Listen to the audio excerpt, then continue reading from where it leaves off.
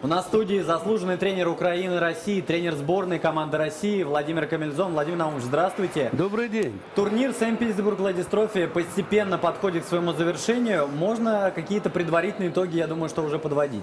Это не турнир, это фантастика.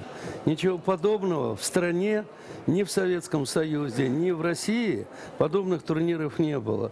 Мы не только гордимся тем, что нам удается красиво поработать, а мы счастливы, что мы пригласили и приняли приглашение практически все сильнейшие теннисисты э, мирового звучания. Они прямо с корабля на бал, часть из них приехала прямо из Австралии Open.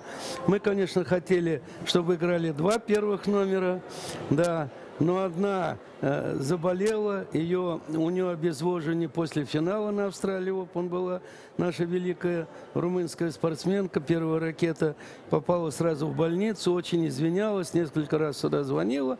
Но э, Возняцки приехала в полном здравии, прекрасно ее все встретили, прекрасно провела первую игру с нашей молодой Потаповой, ну просто с блеском, да.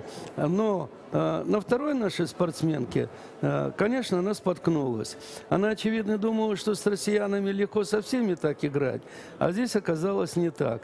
Ну, э, та игра, по которой э, Касаткина прошла вперед, вы все сами видели и по телевизору, и много прессы писала.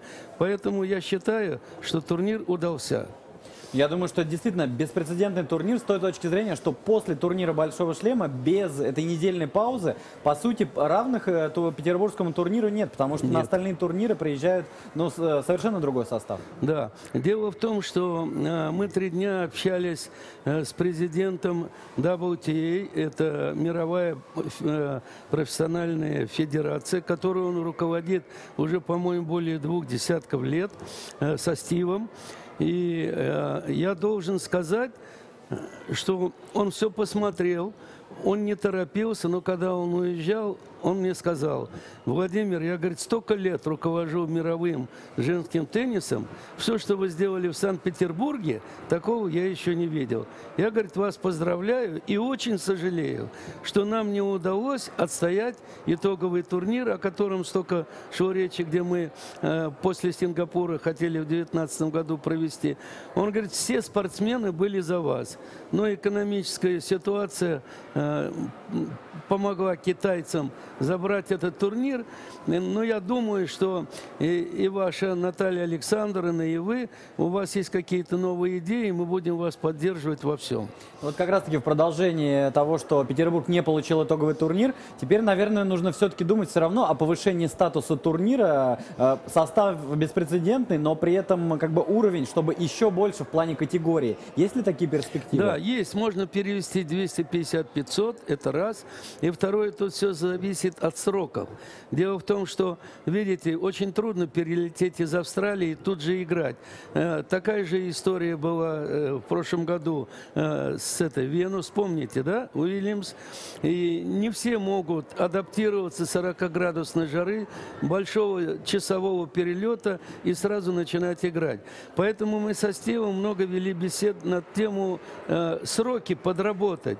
Но, вы знаете, календарь, он твердый, он весь проплачен, и это не так найти э, такую неделю переноса, э, чтобы действительно игрокам было интересно.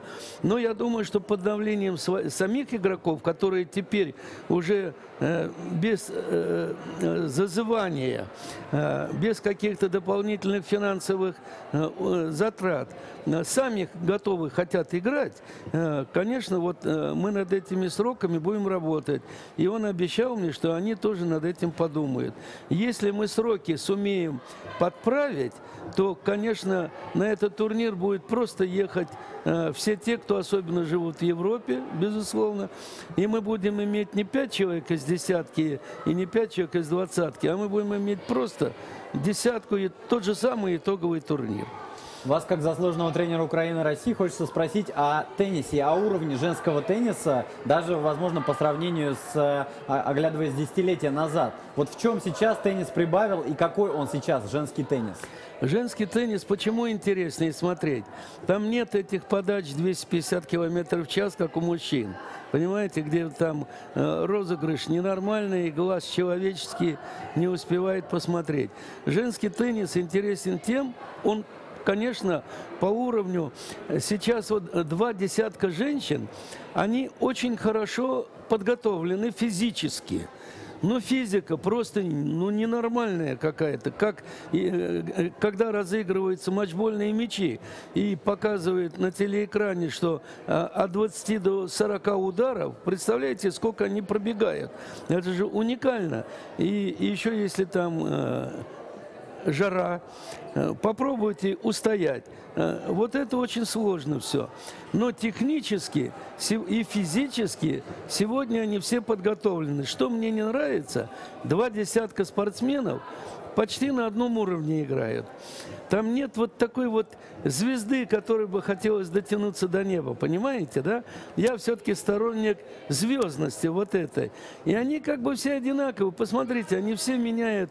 Э, пять человек уже сменило э, э, итоговую должность первой ракетки мира вот эта нивелировка, одинаковость, она меня немножко смущает и меня не удовлетворяет. Я об этом много в прессе выступаю и говорю.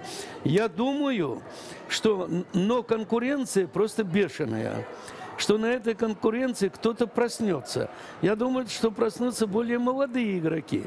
Младенович имеет все шансы, э, наша Касаткина имеет, у нас там Вихлянцева наша интересная, но я говорю, что там работа, подработка, нашей подработки не хватает, должна быть подработка более уникальная, понимаете, я знаю, что надо делать, но работают с ними свои команды, да.